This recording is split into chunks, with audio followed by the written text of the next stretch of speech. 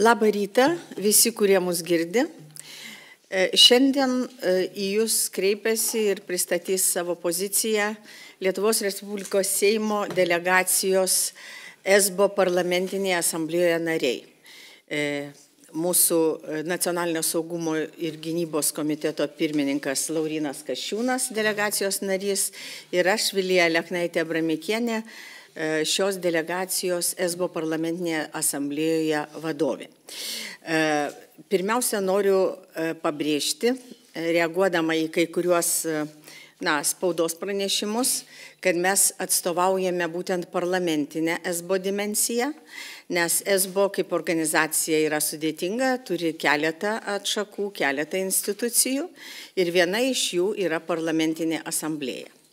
E, sakyčiau, tokia didesnė, gal svaresnė, nuolat dirbanti dalis yra e, vyriausybinė, e, kurios uždaviniai šiek tiek skiriasi, jį vykdo konkrečius projektus. Parlamentinė dimensija, kaip ir būdinga parlamentui, diskutuoja, priima rezoliucijas, įvairius sprendimus raštiškų būdų, balsavimo būdų ir štai mano kolega Laurinas Kašiūnas yra šiuo metu pirmojo politikos ir saugumo komiteto pranešėjas. Aš pati nuo 2008 metų jau darbuojuosi šitoj organizacijoje ir nuo to laiko atsimenu, kad lietuviai visada buvo labai aktyvus. Mes kaip taisyklė turėdavome atsakingas pozicijas ir mums rūpėjo šitos delegacijos sėkmė ir ypač jos sėkmė laikantis tų pamatinių principų, kurių pagrindų ir buvo įkurta iš pradžių Europos saugumo ir bendradarbiavimo konferencija, tai buvo 1975-aisiais Helsinkio nutarimai ir 90-aisiais e, pasibaigus šaltajam karui e, buvo pervadinta organizacija į e, Europos saugumo ir bendradarbiavimo organizaciją ir būtent 90-aisiais atsirado ta parlamentinė asamblėja, kurią mes atstovaujame. E, visiems yra žinoma jau ir paskelbta, kad mes e, nevyksime šį kartą į žiemos sesiją vienoje. E, mūsų motyvas yra labai paprastas. Manome, kad Rusija, kuri peržengė visas įmanomas raudonasias linijas ir nėra tokio tarptautinės teisės akto, kurio ji nebūtų pažeidusi, ji neturėtų dalyvauti bendroje diskusijoje su kitų valstybių parlamentarais. Juo labiau, kad tai labai žaidžia tiek politiškai, tiek morališkai Ukrainos delegaciją. Ir mes turbūt šiandien tiesiog detaliau pasidalinsime, kokių veiksmų ėmėmės, kad užkardytume e, vizų išdavimą Rusijos delegatams ir e, kokių veiksmų ėmėmės, kad pati parlamentinė asamblėja įgytų instrumentus, kurie leistų uh, suspenduoti šalį agresorę. Aš dabar perduodu žodį Laurinui ir manau jis prates. Tai ačiū labai Vilija, tai aš manau, kad tam tikrą istoriją, dar jūs irgi prie jos grįšit, ar ne, prie mūsų visų bandymų, visų laiškų, kreipimusi į organizatorius, tiek į Austriją, tiek ir į pačią, pačią asamblėją, svarstant dėl tos procedūros, kuri tikrai leistų stabdyti ir izoliuoti tokias valstybės agresorės. Aš tik tai iš savo pusės pasakysiu, taip esu jau ketvirtus metus pirmojo komiteto pranešėjas, tai pirmasis komitetas, tai komitetas, kuris apžvelgia ir vertina geopolitinę situaciją nuo Vancouverio iki Vladivostoko. Visus keturis metus nusekliai įvardindavau visas grėsmės, kurias kelia Rusijos federacija. Dėl to be jokios abejonės mūsų delegacija yra turbūt rusų, rusų delegatų akimis pati nemėgstamiausia, viena nemėgstamiausia, nes daugiausia uh, ta, kuri nuolat bada pirštų į tai, ką rusai, rusai daro. Ir be jokios abejonės ten daugiau iš mūsų pusė vyksta kova dėl vakariečių protų ir širdžių, kas be galo svarbu, nes kartais dar yra toksai sakykime taip, naivus įsitikinimas, kad jeigu tu su Rusijos federacijos atstovais sėdi, sėdi prie vieno stalo ir jie tau linkčiojo galvą ir sako, taip mes galim susitarti, nors patys jau gerai žino, kad, pavyzdžiui, kariuomenė yra a, sutelta aplink Ukrainą ir tikrai ruošiasi atakai. Būtent taip ir buvo ESBO. Juk praeitų metų esbo sesija prasidėjo to pat, tą pačią dieną, kai vyko, prasidėjo karas, karas prieš Ukrainą. Ir jie sėdėjo toj pačioj Hofburgo, tose pačiose Hofburgo rūmose ir toliau skleidė savo propagandą, aš kalbu apie Rusijos federacijos dūmos atstovus, e, o ne, o ne, o ne kokios nors neprisėmė jokios atsakomybės. Kitaip tariant, reikia žinoti, kad ta federacijos, Rusijos federacijos delegacija esbo parlamentinėje asamblėje sudaro na, tokie, sakyčiau, autoritetingiausi Putino rėmėjai. Dūmoje nuo Slutskio iki, iki Tolstojaus veikėjai, kurie iš esmės yra tikrai integruoti į režimo, režimo architektūrą ir tikrai pretenduoja į karo nusikaltelių statusą. Todėl mes tikrai apsisprendėm šį kartą su jais vienam, vienam, vienai patalpoj ir vienam mieste nebūti. Tai mes tą padarėm, Tai mūsų sprendimas, aš pats parengiau tą pranešimo, pranešimo pirmąjį variantą, reikia, žinote, gal pagal procedūras pagrindinis pranešimas, kuris patvirtinamas asamblėjos yra Liepos mėnesį, tai čia yra tik tai darbinis variantas, bet aš jau ten sudėjau viską, ką tik tai buvo galima sudėti apie tai, ką Rusija per šitos metus padarė ukrainiečiams ir ką mums kaip vakarų bendruomenė reikia, reikia daryti. Na, noriu pasakyti, kad darėm viską, kas įmanoma, kad vis tik tai neįvyktų tai, kaip, kaip įvyko kad viena vertus, kad nepasirodytų rusai e, vienoje, kita vertus, paskutinis mūsų bandymas pakeisti situaciją buvo toks, kad prieš e, kelias dienas e, Ukrainos delegacija kreipėsi į Ukrainos delegacija kreipėsi į, į SBO parlamentinės asamblėjos vadovybę, siūlydami postpone, reiškia, ar ne, nukelti nukelti šitą sesiją į, į tolesnį laiką, o mes pasiūlėme reaguodami į šitą Ukrainos pasiūlymą, perkelti čia, į Lietuvą, į mūsų parlamentą. Pavyzdžiui, kovo mėnesį. Ta būtų buvo galima padaryti. Deja, e, vis tik tai buvo nuspręsta palikti taip, kaip yra ir palikti viską vienoje. Todėl e, labai tikėtina, kad šiomis dienomis e, vienoje vyks Dūmos veikėjų performansai provokacijos, ne tik kalbomis, bet ir įvairiomis spaudos konferencijomis. Matyt, bandys didžiuotis, kad atvyko ir jiems jau savo tai gali leisti nepaisant to, kad jie visi yra sankcionuoti. Ir mes nusprendėm šituose žaidimuose nedalyvauti, tiesiog nedalyvauti. Aišku, bus, matyt, bendruomenė įvairiai reaguos viena, vieni turbūt paliks salę, kai rusai kalbės kiti galbūt bandys atsisuk nugaras, čia girdėjome visokiausius sprendinių siūlomų, bet mes į to žaidimus nesiviliam ir aiškiai pasakėm, kad mes su šitais e, veikėjais, kurie pretenduoja į karo nusikaltėlių statusą vienoje vietoje nebūsim. Ačiū. E, pratesdama tai, ką pasakė Laurinas, noriu priminti, jog visi e, Rusijos dūmos deputatai yra sankcijų sąrašuose nuo 2014 metų. Nuo to laiko, kai buvo užimtas Krymas ir kai pradėtas karas Dombase. E, jie turi sankcijas tiek ES, tiek Junktinių valstijų.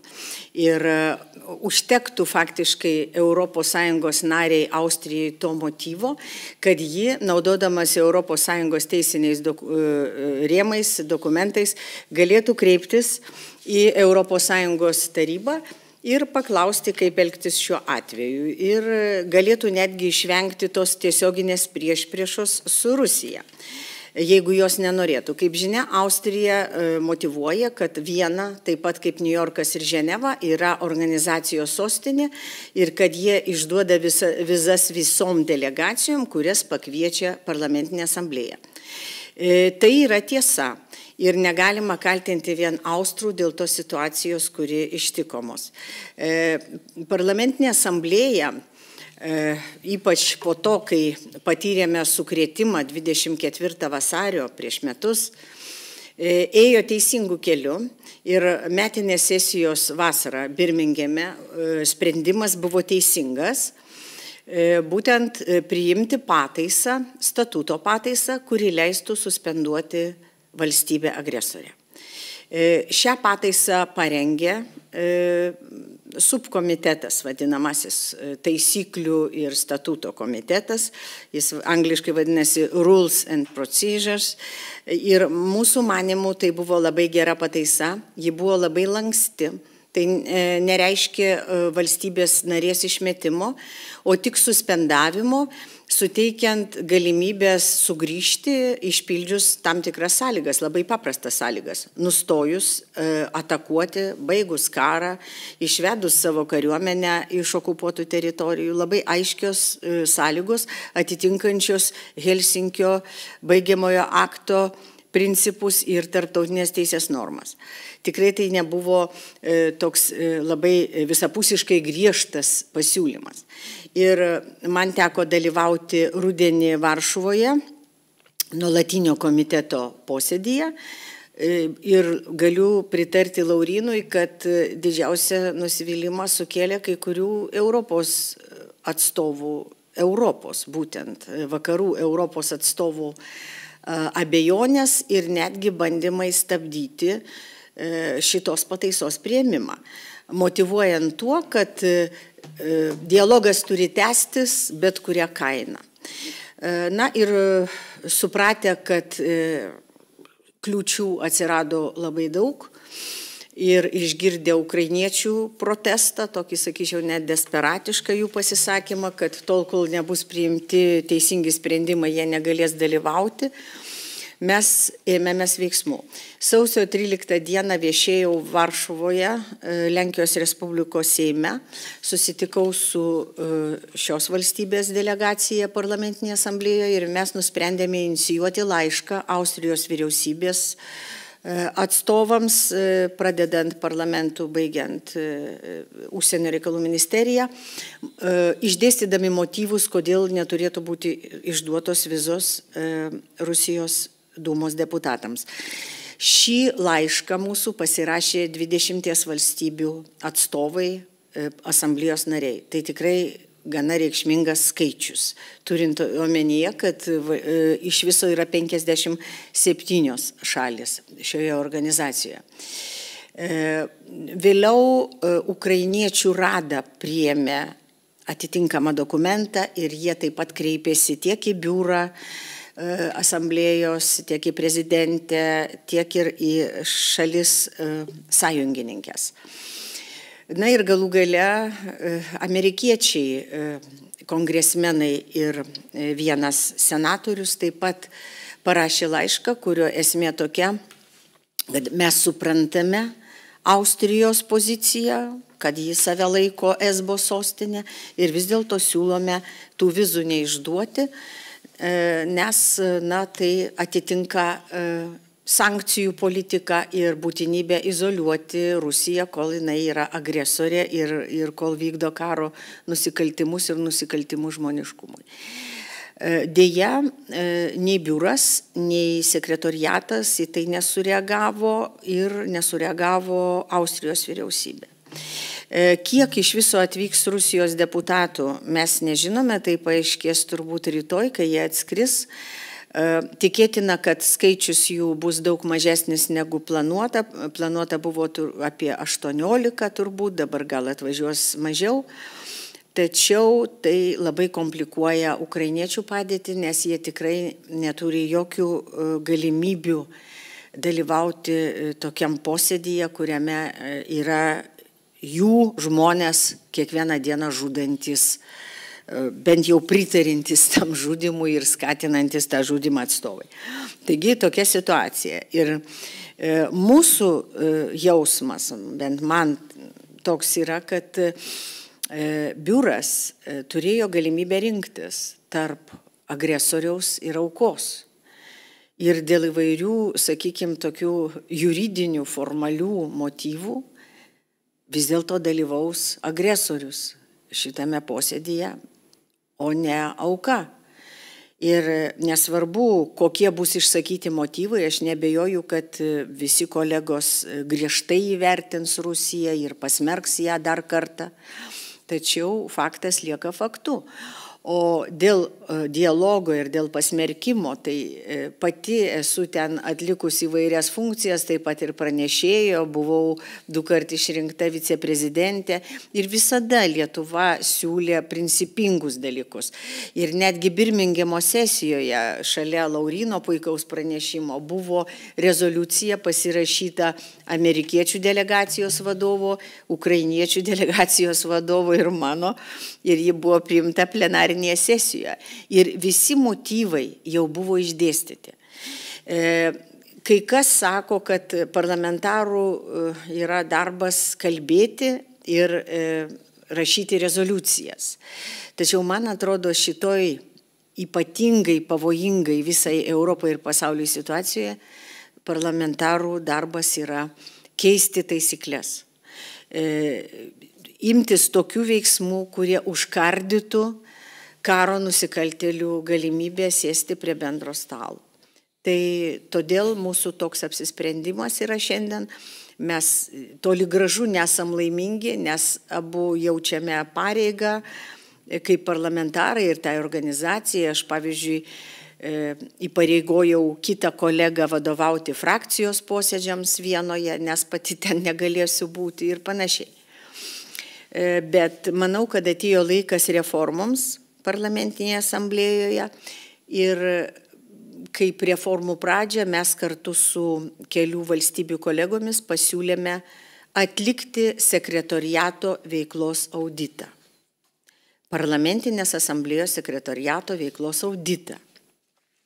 Nes esama ir ten tam tikrų klaustukų, kodėl, pavyzdžiui, buvo sustiprintas asamblėjos ofisas Vienoje, kodėl buvo paskirta labai prieštaringa asmenybė vadovauti šitam ofisui iš artimiausios Putino aplinkos, e, ponia Darija Bojarskaja. Tai kelia klausimų ne vien mums, E, pasirodė yra ir Britų spaudoje atitinkami straipsniai. Kyla daug klausimų. Ar generalinis sekretorius Roberto Montella tikrai yra nešališkas ir kokiu pagrindu jis priima sprendimus, sakykime, paskirdamas į atsakingus postus e, štai tokį asmenį, kurio ryšiai su Rusijos spets tarnybomis, na kaip ir galėtų būti numanomi. Taigi e, reikalai nėra tokie paprasti, kaip atrodo iš pirmo žvilgsnio, bet mes neketiname e, atsitraukti nuo savo pozicijos ir manome, kad metinėje sesijoje Vancouveryje, Kanadoje, kuri tikrai iš anksto pasakė, kad Rusijos atstovom neišduos vizų, manau, ten e, stengsimės, kad būtų priimti reikalingi sprendimai. Ačiū. Kokių klausimų turit? A, atskirai. Gerai. Naujienų agentūra BNS, Milena Andrukaitytė, aš tik norėjau paklausti jūsų žiniomis, ar yra delegacijų be Ukrainos, e, kurios irgi ketina boikotuoti sesiją? E, aš savokos boikotuoti nevartočiau, nes Laurinas nusintė savo pranešimą, o aš paskyriau žmogų vadovauti frakcijos posėdžiams. Mes tiesiog nedalyvaujame, siūsdami savo vakarų kolegoms kai kuriems ženklą dėl būtinybės keisti tvarką. Tačiau e, daugiau tokių delegacijų, kurios nedalyvautų, e, negirdėjome, nors atskiri, atskirų delegacijų nariai tokius e, sprendimus siūlė. Tačiau kadangi ne visos delegacijos yra tokios vieningos kaip mūsų, priminsiu, mes esame pagal kvotą trys atstovai, mes turime tris balsus Trečiasis mūsų šiandien nedalyvauja, ponas Gedrius Surplys, bet jisai laikosi tos pačios nuomonės. Ir aš manau, Lietuvoje mes tikrai turime išskirtinę situaciją, nes ir viešoji nuomonė, ir žiniasklaida, ir pozicija, opozicija Seime laikosi na, tų pačių principų. Tai todėl mums yra paprasčiau priimti tokius sprendimus. Milena, daugiau, kas nors, ne? Viskas gerai? Ačiū. Tai dėkojom, dėkojom, kad jūs klausėte. Labai ačiū. E, gaila, kad šiandien nebuvo galimybių pakalbėti apie vakardienos labai svarbias kalbas, apie e, išskirtinės reikšmės e, Amerikos prezidento vizitą Kijeve ir Varšuvoje ir apie pakankamai grasinančią pono Putino kalbą, bet čia galbūt kita proga. Taip.